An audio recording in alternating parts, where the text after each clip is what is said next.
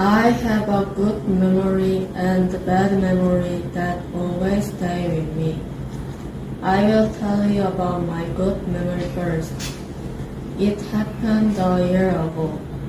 I met movie actors at a movie festival. I got the actors' autographs then. I have very bad memory, but it is also special to me. It was when I five years old, I fell off my bike and hurt my knee. I got treatment at a nearby hospital then.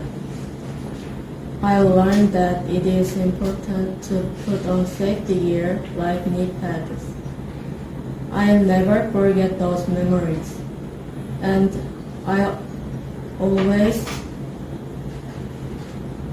cherish those moments as beautiful memories.